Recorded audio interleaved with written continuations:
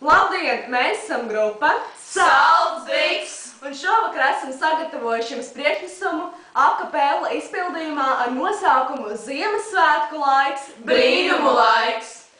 Šo priekšnesumu izpildījuši es, AJX, Shiny Zoo Es un DJ X. un es, Doktor Tiks. Nu ko, puiši, aidā! Trīs, četri. Ziemassvētki klāt, mīļais tēvs ik māt. Bērniņi apēdlismei, vecā māte asarslei. Ziemassvētku rītā, māsiņa guļ salā plika.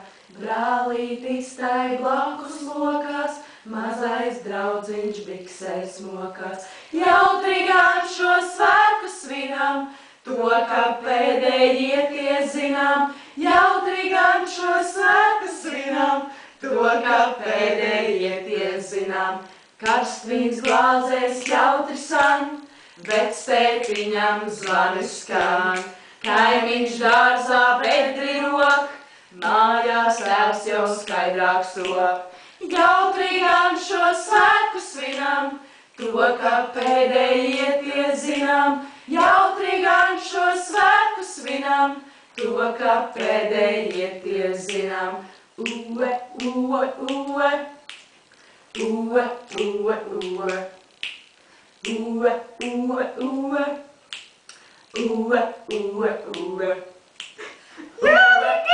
Šo svētku svinam, to, ka pēdējie tie zinām. Gan šo svētku svinam, To, ka pēdējie tie zinām. Zinām, zinām,